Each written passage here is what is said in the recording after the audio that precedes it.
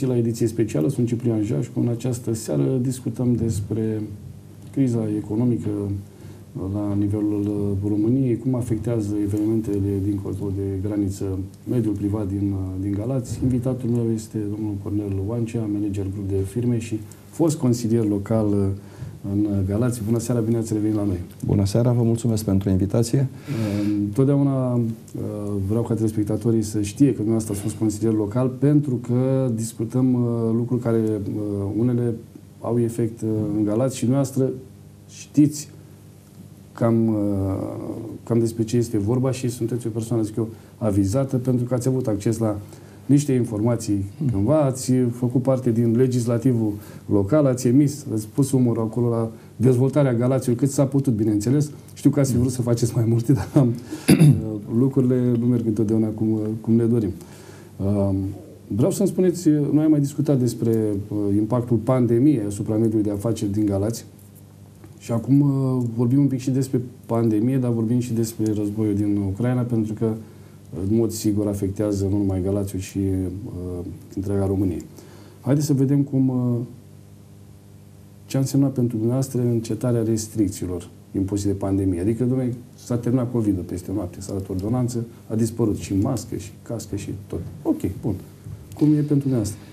Da, e, este un subiect foarte, foarte generos, amplu, la care putem discuta uh, uh ore în șir. Voi încerca să fiu cât mai uh, Corect. exact și precis. Um, nu s-a schimbat mare lucru odată cu ridicarea stării de alertă și um, renunțarea la mască, cum spuneați dumneavoastră puțin mai devreme. Uh, ba, aș putea spune că um, pentru noi ca obiect de activitate, lucrurile merg în firesc, în normal, nu au fost sincope ceea ce producem la grupul de firme sunt produse care sunt tot timpul de, nu știu, necesare într-o gospodărie și nu numai în la societăți, la partea medicală. Deci nu am fost afectați. Ehm, ce ne-a afectat cel mai mult, sau nu numai pe noi, sunt ehm, această fluctuație incredibilă a utilităților. Mă refer aici la energie electrică, la gaz metan, la și celelalte care, uh, carburanți combustibili, uh, care cu da, siguranță... Da, fost, apropo de carburanți, a fost o, un salt uriaș. Chiar m-am uitat, uh, totuși românii, oare ar fi chiar așa ușor de manipulat? Pentru că într-o seară cineva a aruncat pe o rețea de socializare un preț mare, 11 lei la, la carburanți, în seara aia au fost niște cozi pe care le-am prins pe Ioan Ceaușescu, mi-aduc aminte, stăteam la uh, Peco din uh, Țiglina, acolo pe Sator, până în vale stăteai ca să iei o canistă de, de benzină când dădeau la liber. Bun, uh, s-au vândut uh, carburant și cu 10 lei și cu 9 lei, a cumpărat lumea, uh, de-au golit efectiv rezervoare de la Peco. A doua zi să fie 8 lei și un pic și omul a zis, oh, e bine, domnule, 8 lei. Era 7 lei, 6 lei 80. Adică după ce a fost o chestie într-o seară 10 lei, 11 lei, când a fost cu 8 lei a doua zi, oh, e, e bine așa. Știți cum aș, aș traduce eu, să spun ca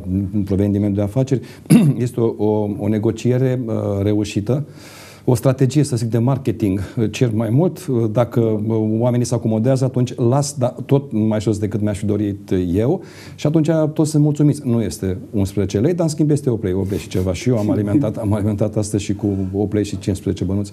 Nu are importanță de la ce uh, da, corect. distribuitor. Sunt unele benzineri uh, care merg cu 7 lei, adică merg și sub 8 lei, dar sunt mai, mai rare. Asta, da, e Vedeți, avem instituții de abilitate care pot regla sau pot controla uh, aceste fluctuații de preț.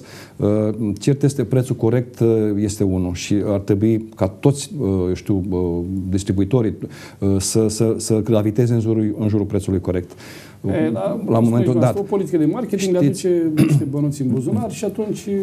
Vreau să vă spun paradoxal, uh, prețul barilului de petrol uh, la bursă undeva de, a fost 130, dacă nu mă înșel, acum a ajuns la 103 lei, uh, a, a scăzut semnificativ.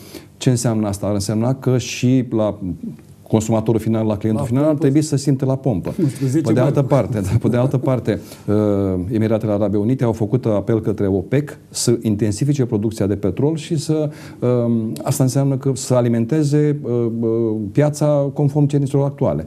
Pentru că nu trebuie să omitem faptul că multe, eu știu, sau multe o parte din uh, sursele de aprovizionare din zona ex-sovietică, Rusia, Ucraina, acum sunt, uh, sunt Ajungem obturate și și... acolo. Acum vreau să-mi spuneți uh, cum se simte creșterea asta pe toate fronturile, până la urmă, și la gaz, și la energie electrică, și la carburant. Cum se va resimți până la urmă, cum o simțim noi în ceea ce privește știu, livrarea produselor noastre, costul Sigur, lor. sigur, până acum sigur, știu că sigur. ați avut niște prețuri uh, pe care ați căutat să le echilibrați, să fie bine pentru toți. Chiar și în pandemie ați făcut eforturi, ați avut probleme cu materia primă blocată prin diferite văm și tot așa, mă rog. Uh, Da, v-ați străduit, domnule, hai să ținem pentru că românul nu are putere de cumpărare, nu ridicăm, nu facem speculă. Știți foarte bine cum aduceți o cutie de măști, 200 și ceva de Sigur, lei sigur. și tot așa, mă rog, alte uh, chestii de genul ăsta, de mijloace de protecție. Bun. O să plătească uh, clienții dumneavoastră mai mult? Care v-ați făcut un calcul? Care e procentajul? Cât, Este, este uh, cum să vă spun, un, un proces uh, irreversibil. Uh, Normal, dacă ți se scumpesc uh, utilitățile, în primul rând, uh, partea de transport, uh, uh, combustibile au crescut, Da, uh, Trebuie să- grevează, apasă foarte mult și pe prețul produsului finit la noi.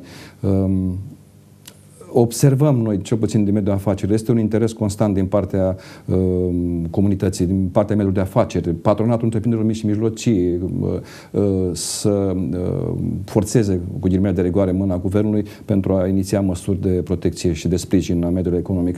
Uh, din nefericire, ele au un, un termen uh, apropiat.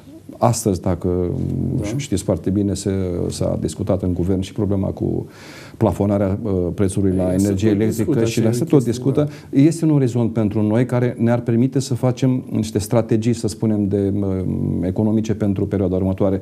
Dacă știu că se plafonează kilovatul la un leu, să spunem, cu TVA inclus, sau gazul metan la 0,37, atunci poți face, chiar dacă ai în derulare niște contracte cu furnizori de utilități, dar poți să faci o proiecție și să, să controlezi prețul produsului finit. De altfel, câți factori ar trebui să luăm acum noi în considerare, pe lângă cei pe care îi aveam până acum în atenție? Mai dacă ne gândim la transport. Transportul, vorbeam Da, da, da, puțin mai da, devreme da. de fluctuație de preț la carburanți. Um, El trebuie să ajungă uh, produsul cu prețul respectiv la uh, Da. clientul respectiv. Dacă Corect. vorbim de contracte uh, negociate anterior, puțin probabil să poți schimba prețul la contract, dar asta Acolo uh, pierdeți pune, mai da, mult, da. pune presiune foarte mare pe agentul economic în sine, să știți. Uh, În momentul de față, nu știu dacă cineva poate să vorbească de, uh, dacă nu ne gândim la speculă, uh, de o profitabilitate. Acum, eu zic că ne, trebuie să ne gândim în primul rând la rentabilitate. Pe ceea ce Undeva facem la e- supraviețuire, este să rea- zicem, și nu? undeva la supraviețuire, da. Sunt provocări foarte multe, nu aș vrea să spun probleme, dar sunt provocări foarte mari pentru mediul de afaceri. Uh, Sunt uh, cei mai afectați, să spun așa, sunt cei care au activități de import-export, care au produse la uh, produs finit uh, care destinat piețelor externe. Bun, știu că și dumneavoastră aveți uh, o latură de aceasta cu, cu, cu importul și exportul de, de uh, produse, materiale și tot așa.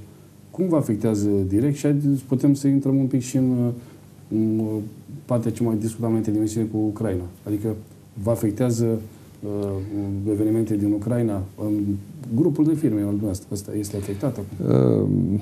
Uh, Exista o piață de desfacere și pe zona Rusia-Ucraina, uh, Moldova. Uh, Aș putea spune că reprezintă o pondere foarte mare, dar Era uh, un e- segment, exista, da. era un segment de piață. Uh, Problema este nu neapărat acolo să ne redistribui, ne- te orientezi, te obligă situația să te orientezi.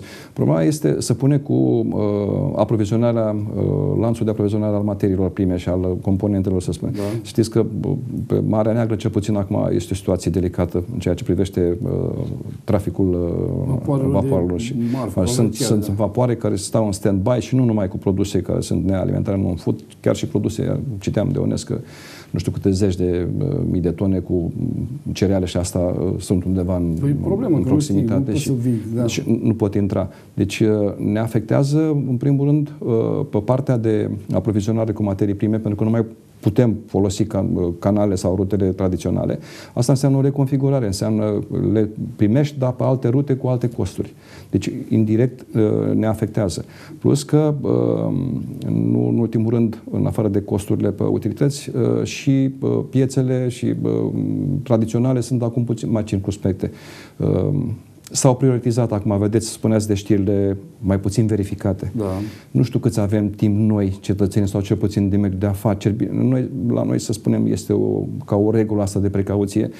În momentul în care închei un parteneriat sau ești interesat să te promovezi pe o piață externă, să-ți iei măsurile de rigoare cât suntem noi uh, capabili să o facem.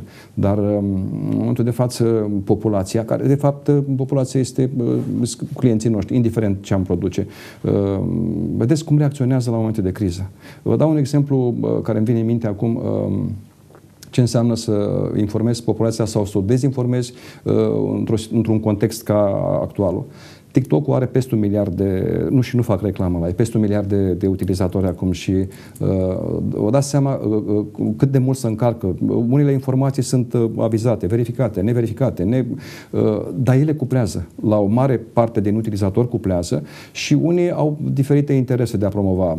Pe financiare, uh, interese da, chiar puse, da. Deci noi, și, panică, și spuneați, exact, și spuneați că de ce uh, noi ne-am panicat, românul s-a panicat pentru că uh, a crescut uh, prețul la combustibil sau de ce s-a panicat că începând de mâine nu o să mai găsim uh, ulei, făină, zahăr și așa mai departe. Uh, astea sunt chestii speculative. Noi trebuie, așa cum uh, într-un business uh, ai uh, niște jaloane și niște surse, eu știu, uh, credibile și populația. Este rolul, în primul rând, zic eu, a autorităților, păi, să da, fie da. foarte transparente. Ați văzut când a crescut prețul la carburant, adică artificial, când a fost seara aia minune, a ieșit uh, da, a ieșit ministrul energiei. Guvernul, da, corect, da, a ieșit și a zis, domnule, nu va crește, stați liniștiți, avem carburanți, ok, e o chestie un pic uh, artizanală aici, lăsați, adică dacă ți iese un ministru și spune treaba asta, e logic că noi, uh, omul ăla nu poate să minte pentru că a doua zi se trezește cu, nu știu, câți protestatari în fața Parlamentului și iau cu asfalt. Adică nu poți să zice, un oficial este un om puternicit până la urmă de guvern, îți spune exact ce este. Românul nu, domnule, stau la coadă. Păi, vorbeam cu cineva în mediul rural, era între, nu mai știu, Valea Mărului și Cudalbi, uh, coadă, deci aproape de cât era distanța între localități. Adică cum poți să stai 3, 4, 5 ore la coadă să pui 30-40 de litri de benzină sau să pui în sac, să pui, Doamne ferește. Eu consider că uh, războiul, situația din, din Ucraina acum pentru noi este încă o lecție de, de viață. O lecție de viață pentru absolut tot cei, mediul economic, mediul politic, pentru societate, pentru populație. Ar trebui să învățăm lecția asta și, din păcate, noi învățăm numai în situații de criză câte ceva. Deci, um, de aici încolo, sau grija ar trebui al autorităților să, să fie uh, foarte transparente cu, cu populația, să informeze în permanență, să aibă, să aibă grijă ca atunci când iau o decizie sau când intenționează să schimbe ceva în cadrul legislativ, să ajungă la, uh, la populație și să explice de ce se iau astfel de măsuri. Atât timp cât noi suntem conservatori. Uh, tot mă duc în zona asta și vă spun că are impact cu mediul de economic uh, faptul că la un moment a fost acea stare de panică că, nu știu, Ministrul Apărării sau se va proceda la mobilizare, la încorporare. Pe, noi, pe noi ne privește ca da. mediul de afaceri sau agent economic pentru că sunt vizați, nimeni nu dorește lucrul ăsta, chiar angajații. Exact da, segmentul ca segmentul de vârstă 20-35 de ani care să, să spondere și nu numai. Ce însemna dacă din timp se, se făcea sau, uh, din câte cunosc eu, legea asta din 2006 n-a mai fost upgradată, legea privind da. uh, situația de apărare, încorporarea. Da. În țară. Mobilizarea. Și o mobilizare, da. Sunt, e o situație acum, o situație, stare de, de alertă, de criză, cum se spune, cu care nu ne-am mai întâlnit. Dar asta ce înseamnă? Trebuie să fim transparenți, să ieșim, să explicăm populației, pentru că, tot la fel, citeam și zic eu că sunt surse autorizate, dintr-un sondaj așa făcut, undeva la 20% ar fi dispuși din cei propozabili a fi așa, să se vorbim, având în vedere experiența noastră uh, de ani de zile în un anume segment de activitate și faptul că ați fost probabil și militar și uh, ați făcut și stagiu militar, cum l-am făcut și eu. O părere personală. Tinerii noștri ăștia în segmentul ăsta, 20-35 de ani, ar fi ei pregătiți să-și apere țara. Adică au... Ce Mulți au făcut armată, nu știu, zic e întrebare, eu. Da, e o întrebare delicată. Eu cred că trebuie să plecăm de la altă premisă, de la sentimentul ăla de uh, patriot, patriotism, adică el trebuie cultivat din, din, de la, mi-aduc aminte, pe, nu sunt timpuri de mult apuse, uh, de la șuiemii patrii, de la primii da. pionerați și asta, când uh, ți se, ți se inocula spiritul ăsta. Cred că aici ar trebui școala să înceapă de la ciclu elementar să lucreze. Deci asta ne-ar trebui spiritul ăsta de patriot, de spiritul ăsta să-mi iubesc țara, mai... dacă îl cultivi, în momentul în care ajungi, nu trebuie neapărat să spune să treci pentru stagiu militar, dar ai, uh, simți uh, sau uh, sufletul dar tău că... să le mai cultive? Că, uite, fac un, uh, un salt mic în, uh, în ani când, odată de ziua Unirii, uh, se organizau, bineînțeles, obișnuitele evenimente la statui, cu Hora Unirii, cu tot ce trebuie acolo. Și traficul blocat, dinspre Parcul Rizer cobora un domn cu un buchet de flori, cu tricolor în piept și intră în mulțime acolo. Și zice un, un veteran de război, ce uite domnule asta roman, patriot, cu tricolorul, cu nu știu ce. Era cu un nepot, cu ceva. Nepotul se uita cam pătrat. Ei, românul la bărbatul erați dumneavoastră, când erați consilier local și ați venit acolo și mi-amintesc, colegii chiar v-au surprins atunci în imagini când veneați cu un buchet de flori și cu tricolor așa și te era singurul da, care mulțumesc, discordant. Și atunci, asta ca idee că nu știam că vorbim despre treaba asta, de mi-am adus aminte. Ei, nepoțelul acelui veteran de, de război nu avea nicio treabă, nu înțelegea ce patriotism, tricolor, de ce bunicul lui are pus un tricolor acolo, a acceptat și el să-i pună, hai că poate dă bine la poză sau culorile sunt frumoase ale steagului, nu sunt niște culori urâte și atunci poate pui. Dar nu știe ce înseamnă crâmpeul de tricolor. Da, este foarte important și vedeți, crâmpeul de tricolor și partea asta de uh, patriot, de naționalism, face foarte bine uh, de cursul vieții unui tânăr sau unui tineri în, în România. Și vedeți, ne, ne raportăm, dacă vreți, de la zona economicului și în general, în orice domeniu de activitate ai, ai fi, uh, te amprentează. Uh, apropo de știrile astea alarmiste, uh, eu zic că este bine pentru toată lumea ca să putem să ne desfășurăm activitatea în condițiile optime, cât da. se pot desfășura da. acum, pentru că până în suntem amprentați. Noi pe 24 ianuarie, noi ca popor ne-am trezit într-un coșmar, am spus că nu e adevărat. Uniunea Europeană s-a trezit pe 24 ianuarie cu imaginea unui, unei clone a Coreei de Nord la frontierele Uniunii Europene, pentru că de ce se întâmplă acum acolo este exact ca în Corea de Nord, numai da, că ăștia au avut o deschidere mai, mai mare, să spunem, ideea de a circula, de a face mai turist. Tăiat canale de comunicare. Corect, corect. Și uh, în situația dată uh, avem nevoie de, eu știu, de stabilitate, de credibilitate. Uh, nu este o provocare sau nu, nu am, cineva m-a rugat să fac lobby pentru actualul guvern. Este o perioadă grea, o perioadă care pune la încercare și este bine că mm, politicul vorbește aceeași limbă acum, ar trebui să vorbească aceeași limbă uh, și să gândească și la mediul de afaceri. Aici mă întorc... No, în... să vedem, spuneați de guvern că are o politică, mă rog, să spunem, bună, cum o vedeți noastră. Ok. Uh, din ce am văzut de la guvern, a apărut un îndemn către mediul de afaceri, vă vizează în mod direct. Dom'le, dacă puteți angaja uh, refugiați din Ucraina, faceți-o pentru că legea vă permite pentru 9 luni în primă uh, fază, casă, urmând, mă rog, mai sunt niște pași acolo, dacă vor vrea să rămână pe aici. Cum vedeți dumneavoastră treaba asta? Adică, Bine. având în vedere că știu că urmăriți canalele de uh, informații, de, aveți surse de informații credibile, nu? Că nu toate sunt, sunt și fake news, ok. Știți exact cam din ce comunică guvernul, câți ucrainieni au trecut, au tranzitat România, da, câți au da, rămas, da. cam care ar fi potențiala forță de muncă, mă rog, disponibilă din partea Ucrainei. Și cum vedeți dumneavoastră treaba asta? Uh, deci, uh, teoretic, lucrurile ar, adică ar sta sau uh, ar fi uh, ideale sau frumoase și ar rămâne să le punem în practică. Haideți să ne imaginăm puțin uh, că, um, cel puțin o parte metalurgică, mă duc puțin din zona da, noastră da, și mă duc da. acolo. Avem, avem, avem combinat aici, este fratele combinatul din Galați la, în Ucraina, la seama ce ar însemna să poți să încadrezi pe o perioadă determinată uh, angajați de acolo să-i, uh, să reactivezi aici. Ar din, păcate, nu, din păcate sunt două probleme aici, trebuie să gândim uh, corect. Uh, nu prea au voie să iasă bărbații acum din Ucraina, știți că este acea lege dată de autoritățile ucrainene ucrainene. Și... Bune, dumneavoastră aveți dreptate legal, dar noi știm foarte bine, s-a dat la graniță că trec mulți bărbați din Ucraina, trec încoace. Treaba lor cum? Suntem, nu treaba da, statului da, da, român deci, să monitorizeze. Deci, statul român îți primește da, statul român îți primește. Nu, îi dă drumul de la graniță, ucraineanul e treaba corect, lui. Corect, corect. Deci statul român își face treaba. Bun, au ajuns 10 bărbați, nu știu, 100 câți vreți. Ajung în, la noi. Ori vrea să muncească pe banii de aici. Din informațiile pe care le-am, nu vreau să fac reclamă, sunt, dar încercări sporadice, sunt și știu că Astreal, uh, foarte, foarte puține le numeri pe degetele la da. Uh, din care au solicitat să fie angajați. Uh, să gândesc în primul rând și adică dacă să, între, să încetează conflictul să revină în Ucraina sau uh, să poată să facă pasul către vest. Din informațiile pe care le-am eu, cred că ne apropiem cam la 500.000 de refugiați, refugiați din Ucraina.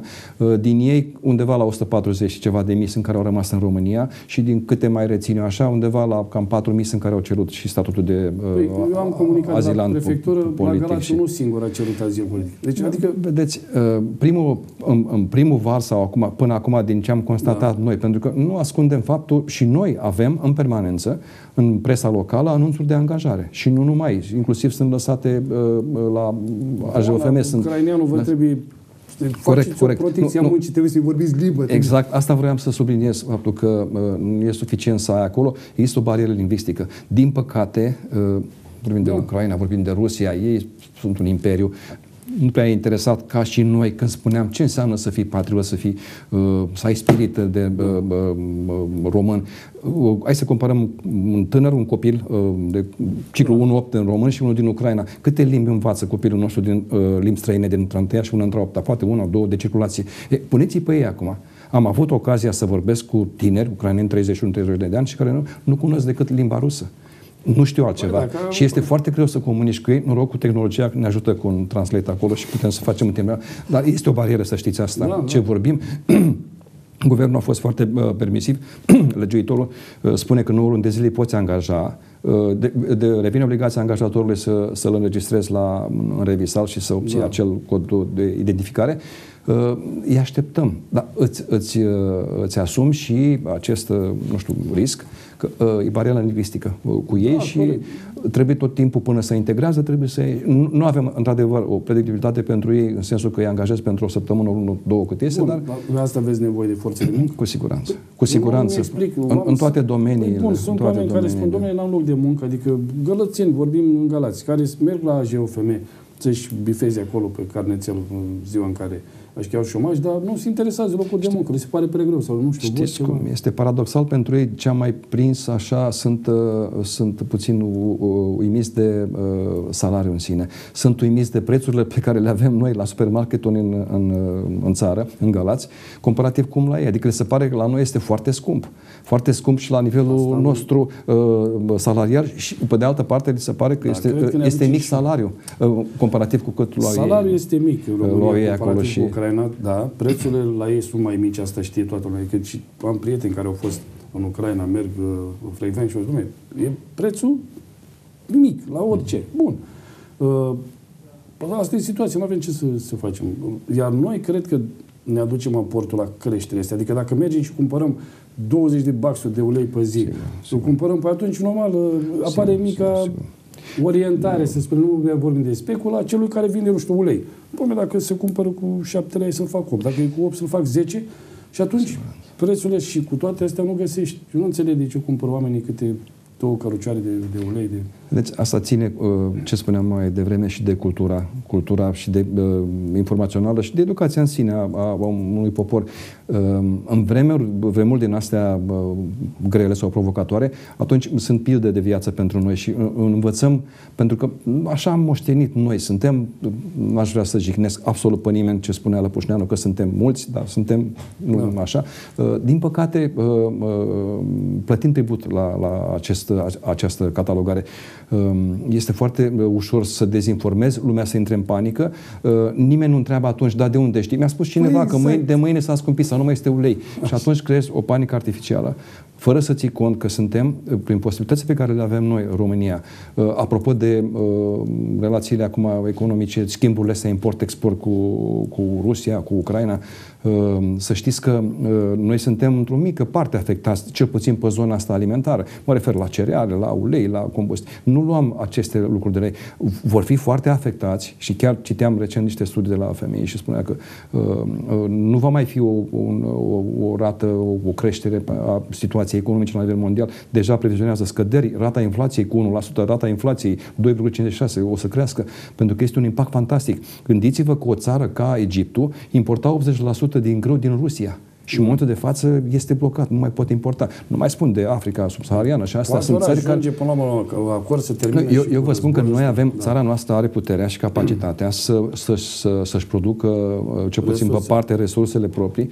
Nu mai departe, uitați în Galați și un caz iarăși cu, cu concret electrocentrale, dacă ar fi reactivată, poate să producă dublu cantități de energie, adică m- încă o dată față de cât ar avea nevoie combinatul. Nu spun că uh, diferența care o produce o descarcă în uh, Sistemul sistemul național și poate să asigure pentru Galați. Bine, este un punct vital Să acolo vedem, pentru poate noi. fi. N-ați văzut că vor să... Aici, aici suntem tot noi tributari, dar uh, uh, aș- gândirea mea uh, este uh, să datorează în primul rând și impactului, pentru că, v-am spus, trebuie să fii ca um, om de afaceri, trebuie să fii exact ca un șahist și nu să anticipezi mutarea adversarului ca uh, meciul să termine cel puțin remiză dacă nu să câștigi. Și noi trebuie să fim anticipativi și să ne gândim cum vor evolua prețurile, cum vor evolua uh, tendințele, uh, care este strategia.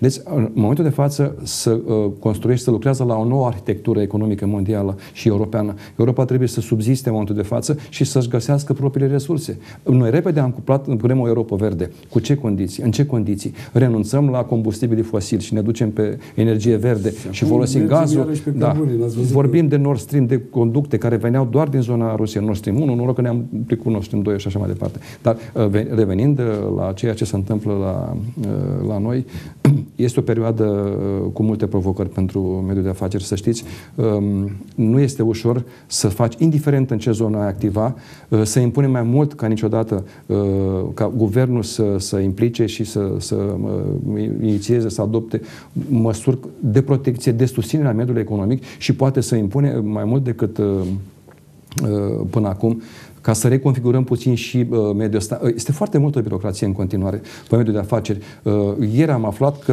uh, Ministerul Justiției, prin Camera de Comerț, prin registru, uh, au accesat un program uh, și s- putem înființa societăți comerciale online. Uh, Este un lucru foarte bun, dar se pot face mult mai multe lucruri. Să știți că în continuare noi din mediul de afaceri ne confruntăm cu probleme vis-a-vis de obținerea unor avize, autorizații, acorduri și asta care sunt nejustificat de mult uh, tergiversate.